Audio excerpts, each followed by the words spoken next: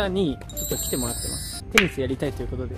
じゃあね練習して大会とか出ちゃおうじゃないかということで。あのめちゃくちゃ仲が悪かったということで。マジで毎日喧嘩しかしてなかったんで。言っちゃった。ああもう本当に仲悪くて。本当仲悪かった。よかったよね。うん、オープン!じゃん。おお まあじゃあこんな感じではい。これを持って今日早速練習しましょうってことで今まあいろいろ打った結果、まあ、ボルトレイジの 5V か D フォースの V の10になりやしたどっちにしよっかこれで決定ということで、はいまあ、次回からちょっと練習しっかりしていくんで、まあ、なぜね17年ぶりでまだ1回この間試合しただけなんでじゃあ次からしっかり練習して、まあ、D フォースとともに行きましょう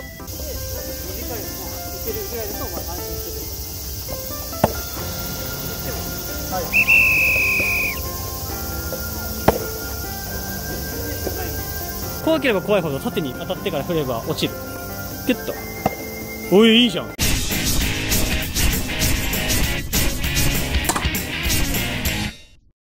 どうもあり太郎チャンネルのあり太郎でございます。するとハロージョシンポロでーす。お願いします。お願いします。で今日はですね一回ここで試合してみて、まあ、いろんな課題が出てくると思うので、まあそれを見見つけていこうかなと思います。はい。ちょっと試合今からするんで見てください。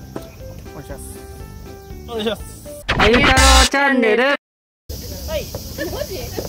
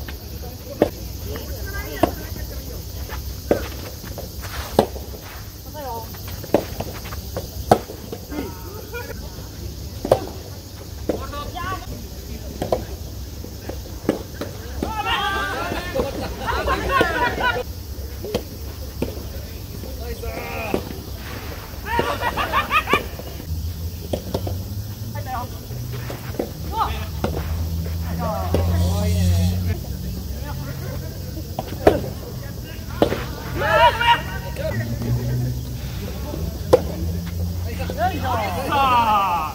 一。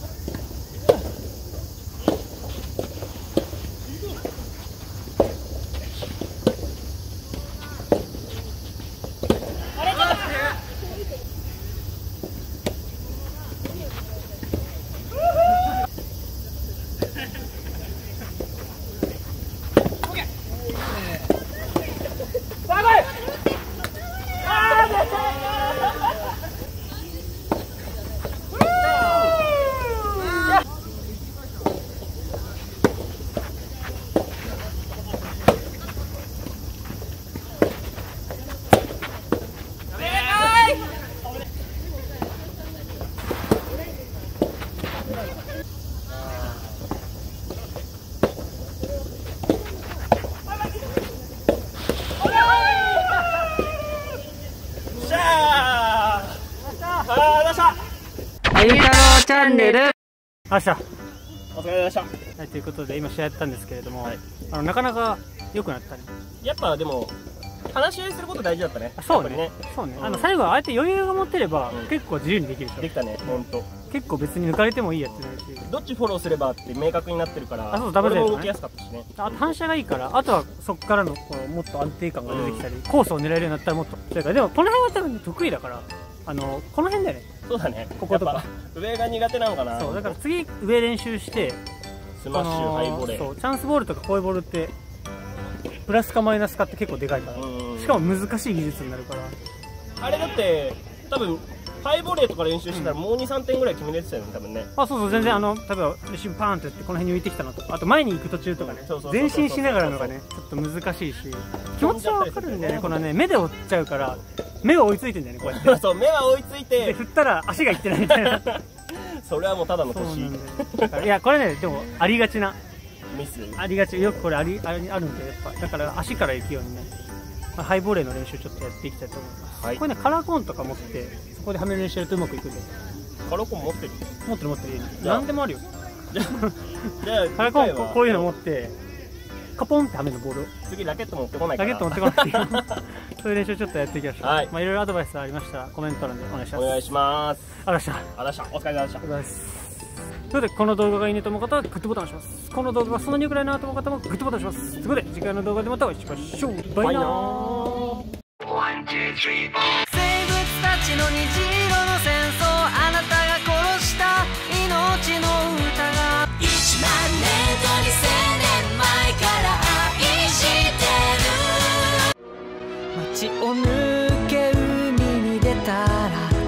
はどこ目指そうか。窓から見下ろす街並みは騒がしくて。